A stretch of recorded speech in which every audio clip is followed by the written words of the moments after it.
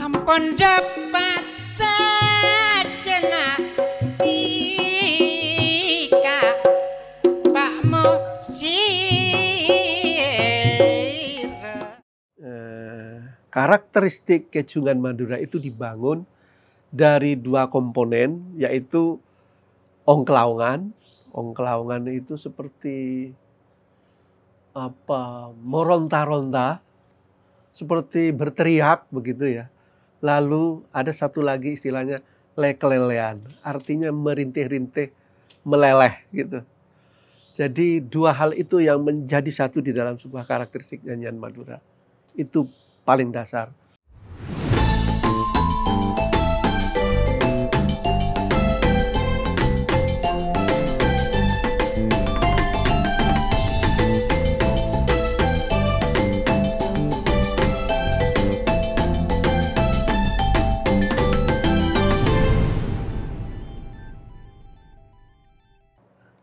Nama saya Zulkarnain Mistor Toifi.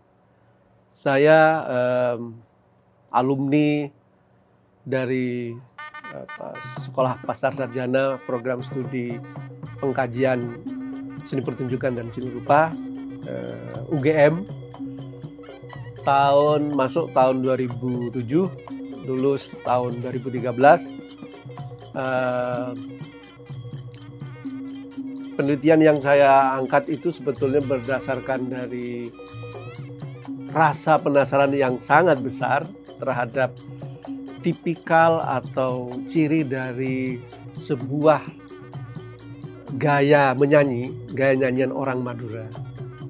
Di mana di situ sejak awal saya tuh heran kenapa orang Madura itu kalau menyanyi, maksudnya ini nyanyian tradisionalnya ya, dengan gaya menyanyi seperti orang marah, seperti orang merintih, yang menyayat-nyayat gitu ya, seperti memberontak begitu. Jadi eh, itulah yang mendorong saya untuk ingin melihat lebih jauh apa yang ada di balik fenomena seperti itu. Oleh karena itu, saya mengawali penelitian itu ketika saya mendapatkan kesempatan studi di S3 di UGM untuk menyelami itu.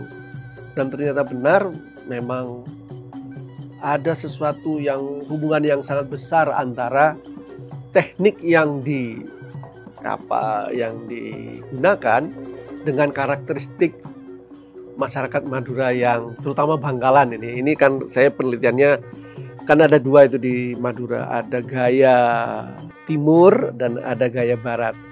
Gaya barat itu yang Bangkalan, gaya timur itu yang Sumenep, yang lebih halus. Nah, sementara yang gaya barat ini yang lebih apa eksplosif begitu ya. Kak Pak Musira Karjole? Ya kakek kak Abo Karjom Gojo-gojo lebih eksplosif. Jadi ah, itu yang apa mendorong saya untuk mengetahui lebih jauh. Nah, dari situ eh, saya kemudian melakukan pendekatan ah, karena saya asli lahir dari sana, tidak terlalu sulit untuk melakukan penyelaman budaya di sana. Dan saya masuk melalui para seniman untuk bisa mengetahui lebih jauh apa yang sebetulnya terjadi di dalam gaya nyanyian itu. Dari situlah saya berkenalan dengan para vokalis ya. Di sana itu tidak ada sinden perempuan, sinden laki-laki di sana. Yang berkarakteristik perempuan bisa dan laki-laki bisa. Sarkajana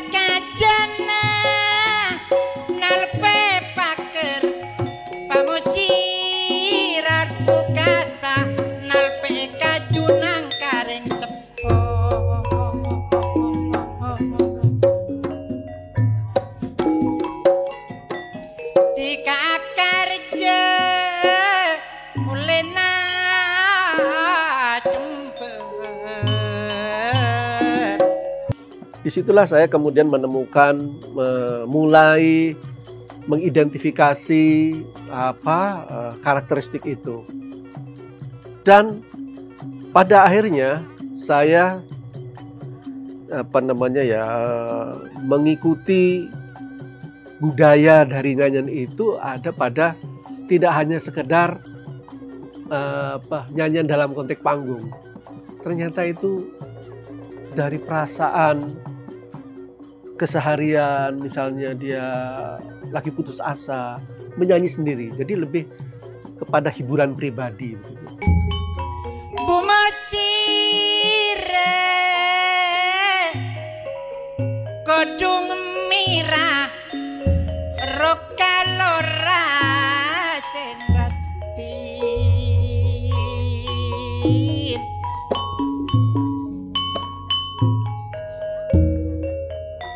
Monocana tak burung ko setia Paling penting acil dopak ongku najar Lebih dari situ. Lalu kemudian dari tradisi yang terus menerus menjadi gaya hidup ya. eh, kalau misalnya mereka itu tidak bisa menyelesaikan dengan cara yang real, mereka menyanyi. Jadi seperti blues, tidak berdaya tetapi ingin berontak dilakukan lewat situ. Nah, sampai kemudian menjadi eh, keseni pertunjukan, dimulai terformula di dalam seni pertunjukan, bahkan sampai menjadi identitas dari kesenian apa lagu-lagu eh, nyanyian-nyanyian Madura. Nah, ada sesuatu yang menarik yang memaksa saya kemudian melebarkan riset ini tidak melulu pada persoalan vokal, tetapi bagaimana ketika uh, vokal ini menjadi bagian yang tidak dipisahkan dari setiap kesenian yang hadir yang mengandung unsur atau berbasis vokal itu dipanggungkan dan kemudian digabung dengan seni yang lebih kompleks yaitu teater.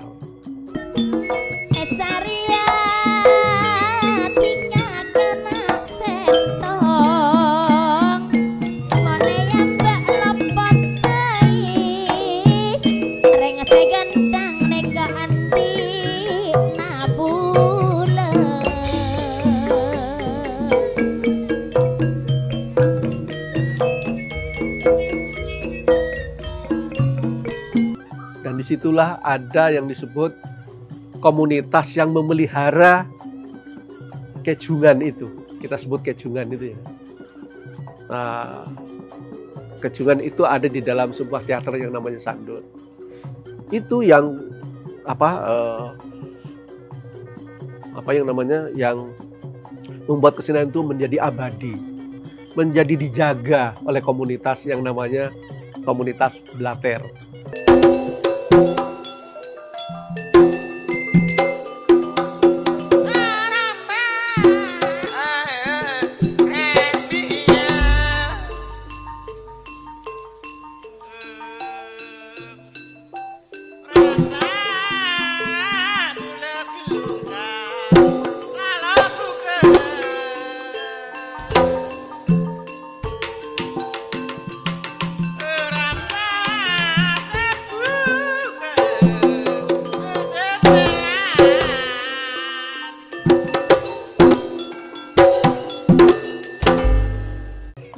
Bahkan ada arisan di situ. Dan dari situ riset saya nggak cuman urusan vokal, tapi juga bagaimana sebuah komunitas itu menjaga kesenian itu menjadi langgeng. Nah, eh, oleh karena itu teori yang saya pakai waktu itu ya teori habitus yang paling cocok. Bagaimana sebuah komunitas ya, meng, meng- apa namanya ingin meng- melegitimasi keberadaan mereka melalui kesenian. Nah tentu saja eh, hasil riset ini pendekatan saya selain persoalan kultural, tapi yang paling pokok adalah bagaimana membaca karakteristik kecungan itu secara apa musikologis. gitu. Nah, yang menarik dari hasil penelitian saya itu ketika saya mencoba mengembalikan hasil penelitian saya itu kepada para apa, penyanyi atau di istilah di sana itu tokang kecung. Tokang kecung itu penyanyi untuk eh, apa ya untuk mencermati hasil penelitian saya di mana saya memaparkan bahwa teknik-teknik yang digunakan oleh mereka itu nggak disadari yang menariknya. Tetapi ketika saya cerita mereka sama-sama merasa oh iya ya iya saya melakukan itu oh iya saya melakukan paling tidak ada empat teknik yang saya lontarkan kepada mereka bahwa teknik ngeden teknik apa ngelik ada teknik ngeden tuh menekan gitu ya. Karena suara itu yang keluar harus keras harus melengking dan sekaligus harus meliuk-liuk dan satu lagi harus gerget gerget ini yang sangat menjadi ciri dari lagu apa dari cara menyanyi orang Madura. Seperti orang marah akhirnya kesannya begitu. Nah, itu semua semua saya gunakan itu setelah saya mengadaptasi dari cara-cara yang digunakan oleh Ellen Lomax di dalam uh, mengidentifikasi sebuah karakteristik suatu nyanyian. Ellen Lomax itu cukup lama tahun 70-an itu bukunya. Bukunya uh, saya gunakan itu dan uh, itulah yang kemudian meyakini bahwa uh, setelah saya melakukan feedback ada dua apa ada dua tesis besar yang kemudian keluar dari hasil riset saya itu bahwa eh, karakteristik kecungan Madura itu dibangun dari dua komponen yaitu ongklaungan ongklaungan itu seperti apa? Meronta-ronta seperti berteriak begitu ya. Lalu ada satu lagi istilahnya lekelelean artinya merintih-rintih meleleh gitu. Jadi dua hal itu yang menjadi satu di dalam sebuah karakteristik nyanyian Madura itu paling dasar dan setelah itu saya sampaikan kepada tim promotor saya nah itu harus jadi judul jangan yang lain jangan bentuk fungsi. Jadi meskipun bicara estetika, tetapi justru dari situ intinya. Nah, uh, saya pikir bahwa hasil penelitian saya ini kemudian hampir sama dengan penelitian-penelitian fenomena-fenomena yang ada di tempat lain. Karena biasanya kalau yang namanya nyanyian tradisional itu selalu berkelindan dengan apa yang disebut karakteristik budayanya, tipikal masyarakatnya.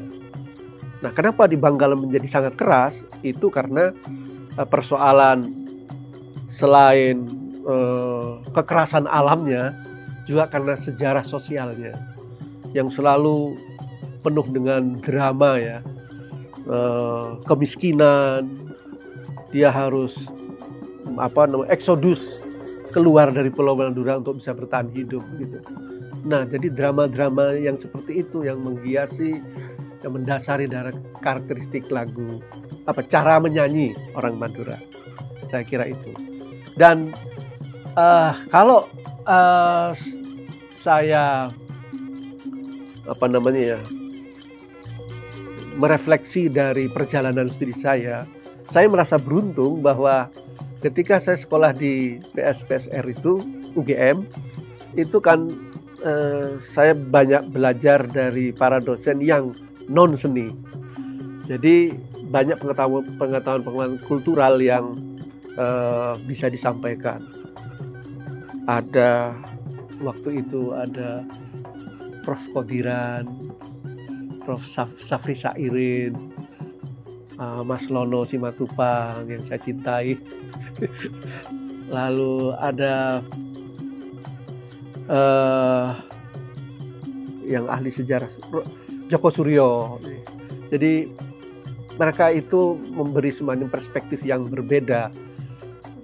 Sementara ini kan saya di seni yang lebih banyak uh, belajar soal tekstual musik, meskipun dengan uh, di dalam etnomusikologi juga banyak diajarkan kemungkinan-kemungkinan konteks yang mengiringi sebuah fenomena musik itu.